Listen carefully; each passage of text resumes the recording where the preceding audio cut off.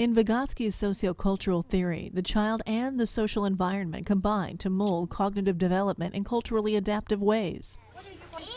According to Vygotsky, once children become capable of mental representation, especially through language, their ability to participate in social dialogues greatly expands. As adults and more knowledgeable peers interact with them while they work on challenging tasks, tasks within their zone of proximal development, children start to converse with themselves. Using this private speech, children guide and direct their own behaviors in much the same way they received assistance from others. Let's listen in as these first graders use private speech while working on a math problem.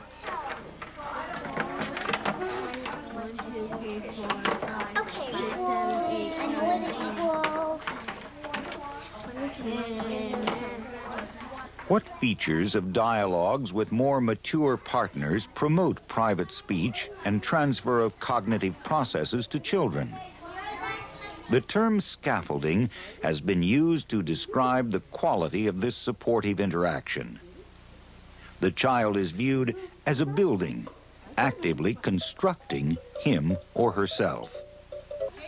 The social environment is the necessary scaffold or support system that allows the child to build new competencies.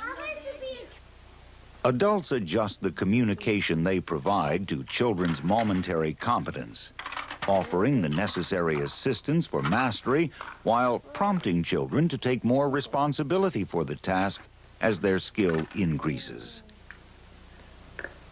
Where's that one go? You find it this time. No.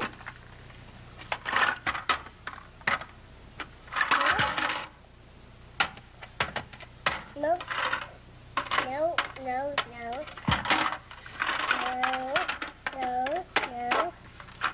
No, no. Oh, that was close. Keep looking. No, no, no. You keep missing that side. Yay! Vygotsky believed that make-believe play did not just emerge spontaneously, but was yet another capacity socially transferred to children. Adults scaffold children's pretending and use of substitute objects. Here, two and a half year old Sophie pretends with her father's assistance. She wants her money. Oh. Did she find her mum? No, she hasn't waken up me. Is that a. Well, you could go and wake the mum up. Shall I wake the mum up? Here, mum. Here we are. Kiss, kiss, kiss, Kiss, kiss. kiss. Kiss, kiss. Hey, I think these animals are getting pretty tired, you know. Maybe we should cover them up and they could go to sleep. No, they want to live in their farm. Oh, right.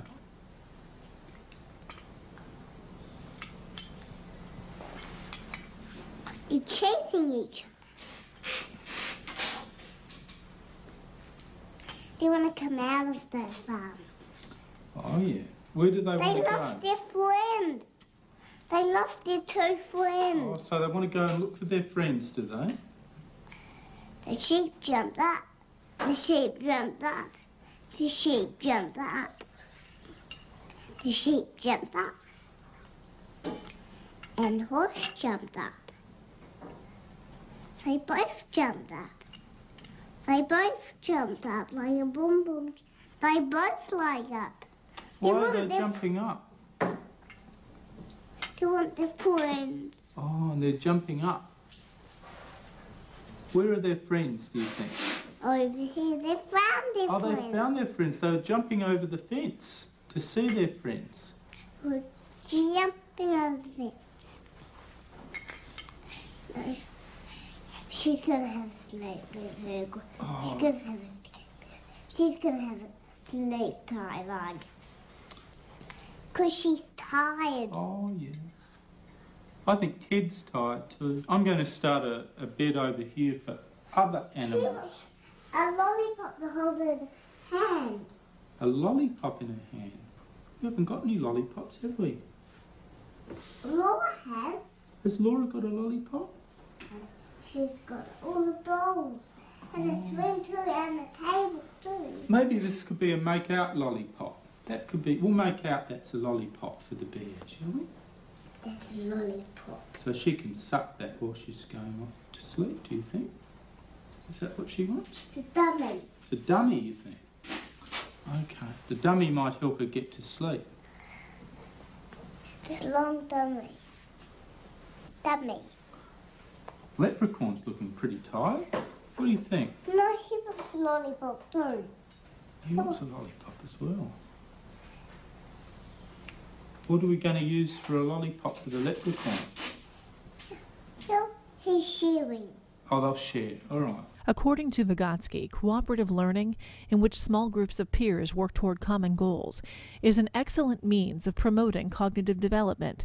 Let's listen in as fourth graders work cooperatively on a complex math problem. I asked you to figure out how much money Mr. Pig found, how much money Mrs. Pig found, then how much money the piglets found, and then at times Mrs. Piglet and Mrs. Pig and the piglets found money together. And I asked you to figure that total, total, and you did. And we came up with how much? $34.67. That's how much money we have. That's how much money the pig family has. Today I'm going to ask you to solve a different kind of problem. You still have the same amount of money, but this time we're going to the restaurant and we're not interested in the special. We want to order something else off of this menu because, boy, remember how good that menu looked yesterday? Yeah. Oh, you could get nacho chips with salsa for a dollar fifty, or you could get black bean soup for a dollar twenty-five a cup. Or if you really like black bean soup, you could have gotten a bowl for $2.25. Well, today you don't have to order the special. Oh. I'm going to have you work with a partner and you can decide which meal or what each person, each pig is going to eat. We need to remember, let's not do that now.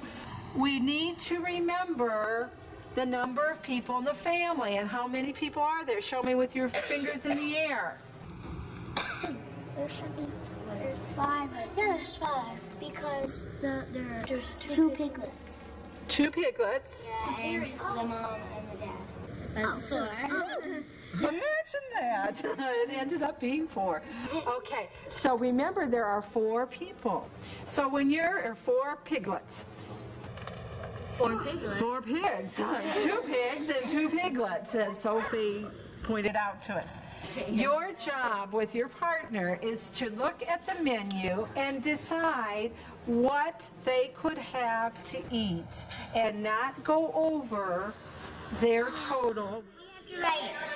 We have to write two two dollars for the cup Two bowls, two cups and of stuff. Three dollars To know. for the bowl. Cause then they won't know how much. Right. Okay. Now the are you on the salad bar? yet? Yeah. Okay. Now We had the salad bar with with dinner. so it would be one ninety. Right. But we had that four times. I know, but how much each? Like Okay. how much it costs so that they know how much.